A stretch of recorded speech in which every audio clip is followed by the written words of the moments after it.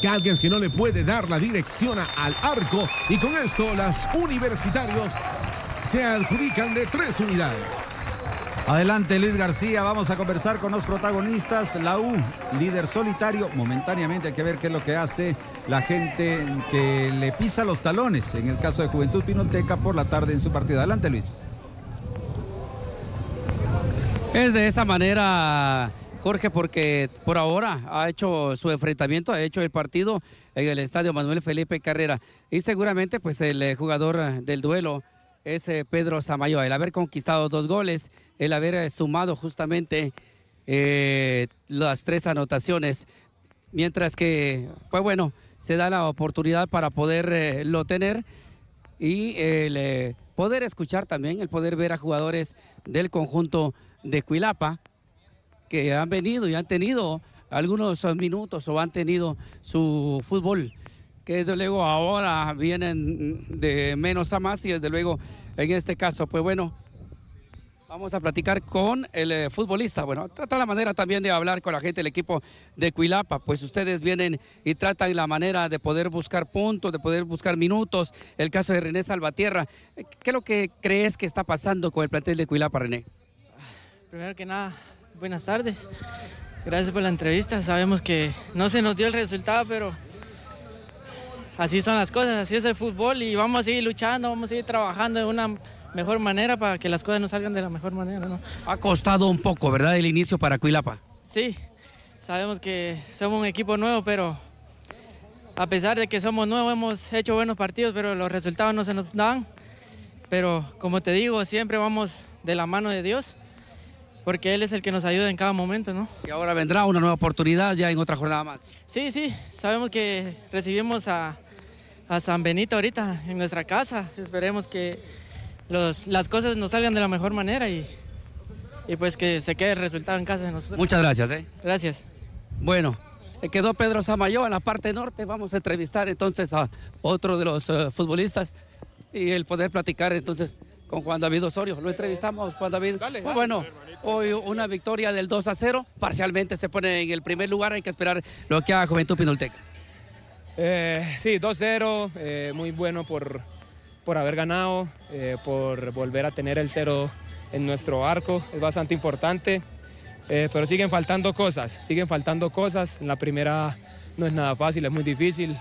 Hay que tener más disposición, hay que correr más, hay que meter más si bien ganamos, eh, como te digo, faltan cositas que las vamos a ir afinando y ganando obviamente se, trabaja y se corrige mucho más fácil. Al final, ¿cómo es enfrentar a un equipo, Pilapa en el último lugar, por cierto, eh, que ellos realmente intentan también salir, muchas veces se colocan más a la defensiva? Sí, como te digo, en la primera es muy difícil, se encuentran jugadores que por ahí no tienen tanto renombre, pero que corren, que meten y que juegan tan bien. Eh, jugar contra Cuilapa, que ahorita va de último, eh, pues es un arma de doble filo porque tienen todo para, para arriesgar.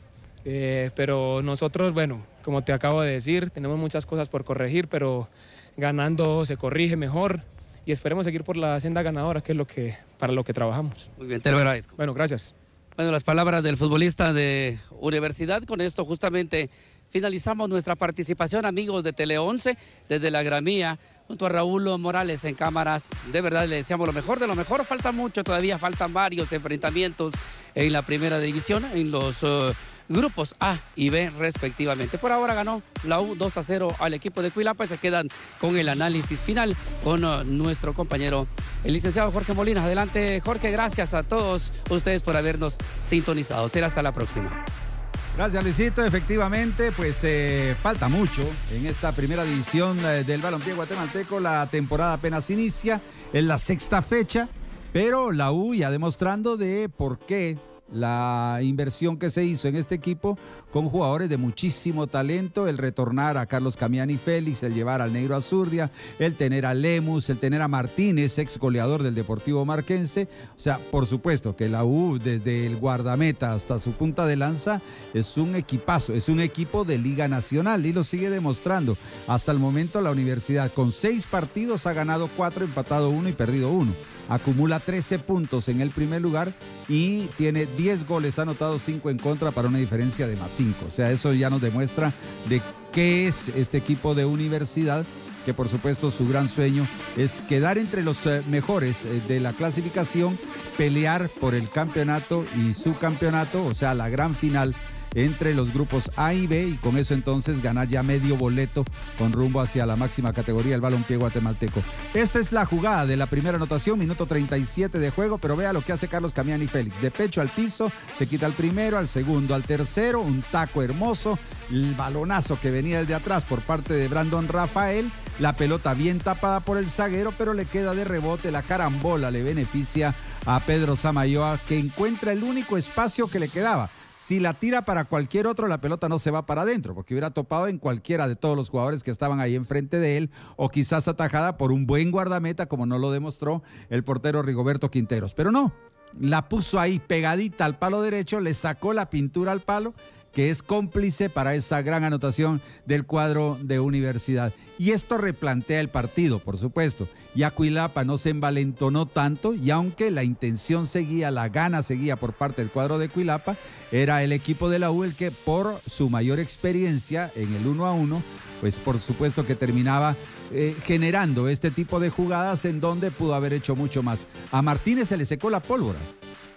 Martínez en los primeros tres juegos de la U consiguió anotación, pero del cuarto, quinto y sexto no ha podido conseguir todavía el tanto que le beneficie al eh, jugador del eh, equipo de la universidad. Por eso incluso en los últimos dos partidos el técnico Ramiro Cepeda ha tenido que recurrir al hacerle el cambio, por supuesto. También el cuadro de Aurora consiguió su victoria, así que Aurora sube con 11 puntos también a pelearle al cuadro de Juventud Pinulteca, que todavía le falta complementar la sexta fecha con el juego que tiene hoy por la tarde y actuando como local, todo pareciera indicar que se van a seguir pisando los talones entre pinultecos y universitarios. Lo que le decía, el cuadro de Cuilapa eh, con la intención, pero solamente llegaba al lindero del área con oh, buena recuperación de balones, pero que no concluía las jugadas, mientras que la U, cuando tomaba la pelota, siempre causaba peligro. Y acá otro rebote, ahora por parte del defensor, y la pelota que le queda nuevamente a Pedro Samayoa.